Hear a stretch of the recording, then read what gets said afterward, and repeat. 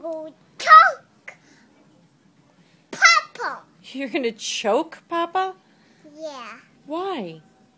When he come back and I'm choking him in the face. Why would you do that? Because I'm going to mess with Wait a minute. You just said you were gonna hug and kiss him. again. Him? So you're gonna hug him and kiss him, and then you're gonna choke him. Is that right? Yeah. Now, why would you want to choke him? Because I kick him in the face. Why?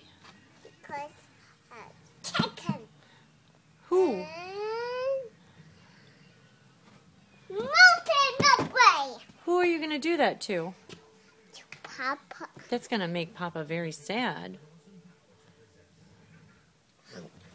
He comes back and I'm so hungry.